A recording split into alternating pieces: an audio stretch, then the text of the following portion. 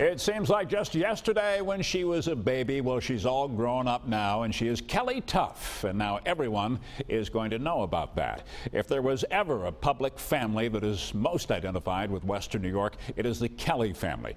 The Hall of Fame quarterback for the Buffalo Bills, a beautiful wife from here in Western New York, three children we all watch grow up. But there is no such thing as a perfect life. So Erin Kelly decided to write a book about hers. Why a book?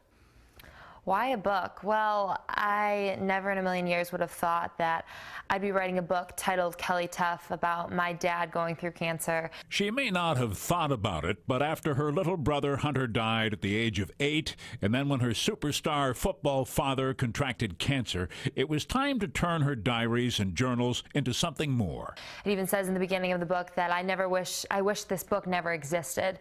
And that's simply because I never thought that cancer would be a part of my story story or that I would be sharing about my dad going through cancer. And really, just I want to share the hope that our family has in the midst of suffering. And share she has her thoughts and feelings dealing with a charmed life. But like all lives, there have been ups and downs. Up when her dad decided no more cancer treatments in New York City.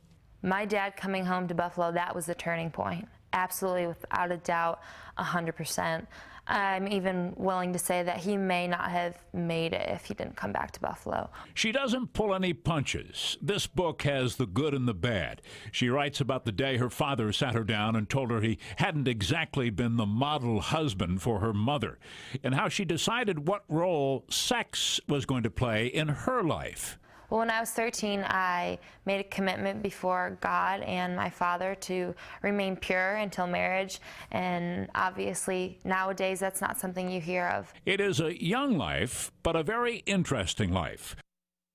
And we will hear much more about it. The inside life of Erin Kelly and her family. We'll talk with her dad, Jim, as well. The victories and the defeats, but always Kelly Tough. That's tonight on 7 Eyewitness News at 11.